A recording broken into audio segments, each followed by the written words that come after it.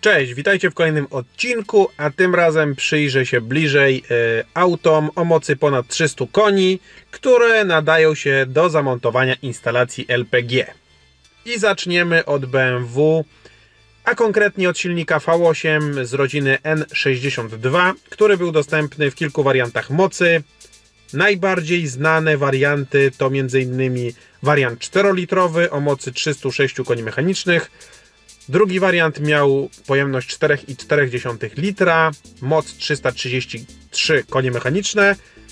No i trzeci miał pojemność 4,8 litra i moc 367 koni mechanicznych. Ten jest oczywiście najciekawszy. A tak naprawdę koszty utrzymania są podobne, dlatego ja bym celował w ten najmocniejszy. Ale wiadomo, zobaczycie co będzie na rynku, bo czasami może i lepiej kupić jest słabszy wariant, ale zadbany niż mocny zajechany.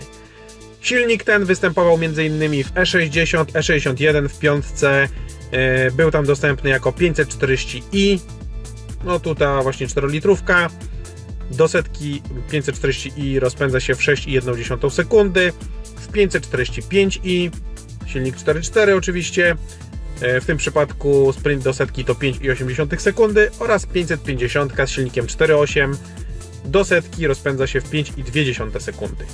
Jednostka ta była dostępna również w szóstce E63 jako 645CI i 650i. E, no wiadomo, w 645CI dostępna była jednostka 4.4. W tym przypadku auto do setki rozpędza się w około 5,8 sekundy. W wersji 650i E, pierwsza setka pojawia się na prędkościomierzu po 5,2 sekundy. Jest to silnik 4.8. Jednostki te były dostępne również e, w 7 E65, E66 w wersji 740. W tym przypadku rozpędza się do 100 w 6,8 sekundy. 745i 6,3 sekundy do setki oraz 650 5,9 sekundy do setki. Moce są analogiczne, więc e, nie będę tutaj powtarzał. E, był dostępny ten silnik również w X5, E70 jako 4.8. No i tu miał e, niestandardową moc 355 koni mechanicznych i osiągał setkę w 5,5 sekundy. Jeżeli chodzi o typowe przypadłości tego motoru, no to niestety z czasem wymiany wymagają uszczelniacze zaworowe. Magistrala wodna też zdarza się, że pęka i po prostu wylatuje Wam płyn chłodniczy. Poza tym silnik nie ma jakichś super y, wad. No może się też tak zdarzyć, że oczywiście łańcuch rozrządu będzie do wymiany, to w zależności od tego już jak poprzedni właściciel eksploatował. E, no ale poza tym jednostka jest dość dobra, ale trzeba się liczyć z tym, że duże pieniądze trzeba mieć na utrzymanie tego silnika. Z drugiej strony w wersji tej topowej 4.8 naprawdę osiągi są e, super, szczególnie w E60. Kolejna jednostka to silnik V6, japoński, konkretniej spotykany w marce Infinity, czyli luksusowa marka Nissana. Dostępny był również w Nissanie 370Z, ale tam raczej nikt gazu montować nie będzie. E, gaz lepiej sprawdzi się w Infinity G37 e, oznaczonym jako V36 lub CV36. Model ten był dostępny również jako Q40 przez bardzo krótki okres. No i silnik ten ma oczywiście 3,7 litra, generuje moc 320 koni i rozpędza się w, akurat w G37 lub w Q40, a konkretnie rozpędza auto, nie rozpędza się, do 100 mm, w 5,8 lub 6,4 sekundy. Osiągi zależą głównie od nadwozia. Najszybsze są coupe i sedan, najwolniejsze jest oczywiście cabrio, bo jest najcięższe.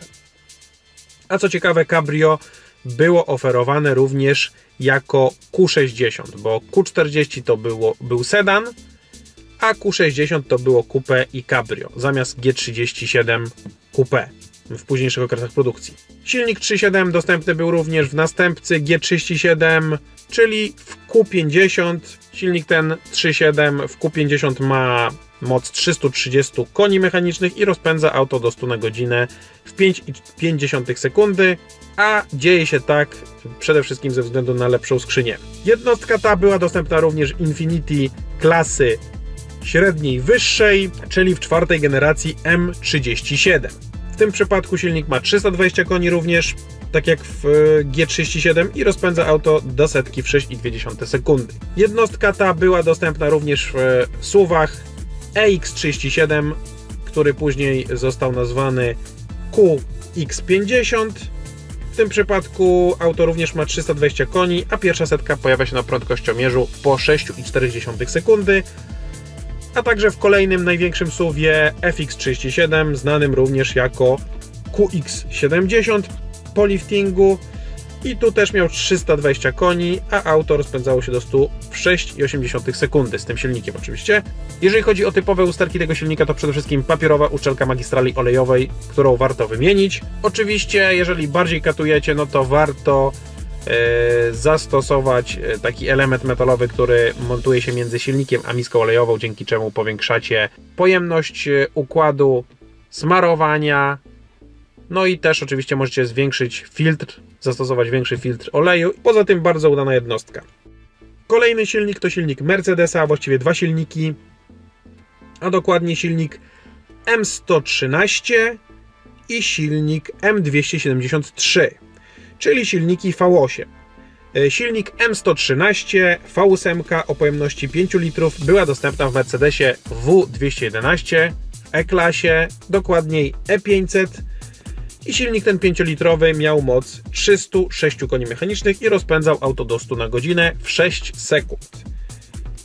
Później, w późniejszym okresie produkcji, mm, silnik ten został zastąpiony jednostką M273 i również był dostępny jako E500, ale silnik miał już wtedy 5,5 litra pojemności i moc 388 koni mechanicznych.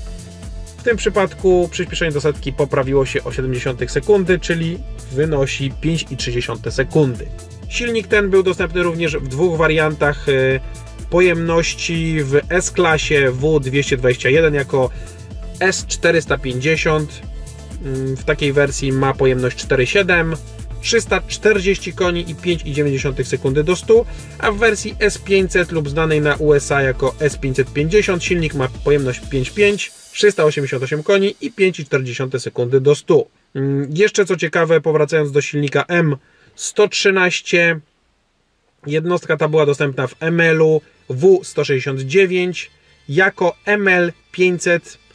No i tam był dostępny silnik 5.0 306 koni, który osiągał setkę w niecałe 7 sekund. Co ciekawe, jednostka M273, ten silnik właśnie 5.5 był dostępny również w Mercedesie e, ML-u W169, a także był dostępny w Mercedesie GL-u jako GL450 z tym silnikiem 4.7 300-400 konnym i jako GL500 e, z silnikiem o pojemności 5,5 litra o mocy 388 koni mechanicznych. Ten słabszy GL ma do 100 na godzinę 7,2 sekundy, ten mocniejszy 6,5 sekundy, no bo to są dość duże auta. Jeżeli chodzi o te dwa silniki, no to silnik M113 właściwie nie ma jakichś poważnych usterek, e, czyli te starsze wersje, a te nowsze M273 miewają problemy z wycierającą się zębatką na wałku wyrównoważającym. Warto o tym pamiętać. Zdarzają się też problemy z klapkami w kolektorze ssącym, a także z czasem wymiany może wymagać rozrząd.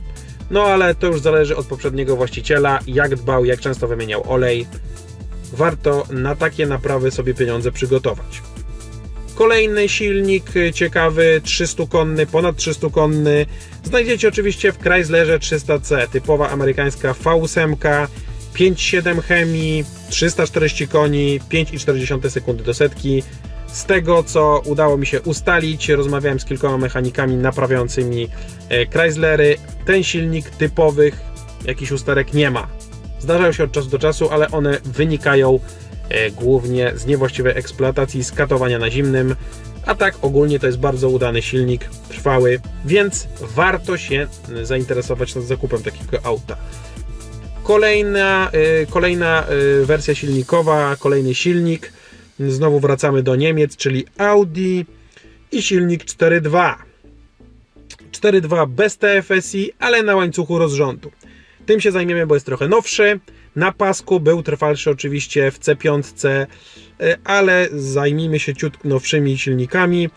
E, C5 4.2 w dobrym stanie coraz ciężej znaleźć, C6 4.2 troszeczkę łatwiej. No i jeżeli chodzi o A6 C6 4.2 no to auto ma 335 koni mechanicznych i osiąga setkę w około 6 sekund. Co ciekawe, takie same osiągi, taką samą moc ma również A8 z tym silnikiem, A8 D3 oczywiście. Była jeszcze wersja FSI, która występowała m.in. w Q7 pierwszej generacji oraz w tych dwóch modelach, ale tam wymagana jest instalacja z dotryskiem benzyny, więc już to już tak super ekonomicznie nie wychodzi. Nadal można to stosować, ale dochodzi jeszcze problem z nagarem, więc według mnie lepszym wyborem jest 4.2 bez FSI. Jeżeli chodzi o typowe usterki tego silnika, no to z czasem wymiany może wymagać rozrząd niestety. Zdarzają się też przypadki nadmiernego zużycia oleju silnikowego ale to w dużej mierze zależy od poprzedniego właściciela. Ogólnie jest to jednostka dość udana, trwała, więc warto się tym e, silnikiem zainteresować. Kolejna ciekawa jednostka to silnik 3.7 V6 amerykańska, którą spotkacie m.in. w Fordzie Mustangu piątej generacji. Była dostępna też oczywiście w szóstej generacji, już nieco wzmocniona. To jednostka dość trwała, lubiąca LPG. Jedyny minus to spotykane są, szczególnie w piątej generacji Mustanga, przypadki uszkodzenia wału napędowego, ale sam wał, z tego co czytałem, za trójkę, czwórkę, 3-4 tysiące ogarniecie, więc y, jak na koszty naprawy silnika N62 z BMW są to naprawdę bardzo śmieszne e, wydatki. No i warto się tym silnikiem zainteresować. Dostępny jest też ciekawy silnik w Chryslerze Crossfire 3.2 SRT6 wersja z kompresorem, silnik z Mercedesa, znany również z modelu C203 w wersji 32 AMG. No i ten silnik ma moc w Chryslerze Crossfire 335 koni Setkę osiąga w 5,3 sekundy, także całkiem nieźle. I silnik ten poważnych usterek raczej nie ma. Oczywiście wiadomo, poprzedni właściciel, e, katowanie, zawsze coś może wyjść. No i kolejna kwestia jest taka, że tych e, aut praktycznie nie ma, więc jeżeli szukacie, to prawdopodobnie Szwajcaria, może Anglia z przekładką, Niemcy. W Polsce ciężko Wam będzie znaleźć tą wersję tego auta. I ostatnie auto, propozycja z silnikiem 5.7 Hemi również.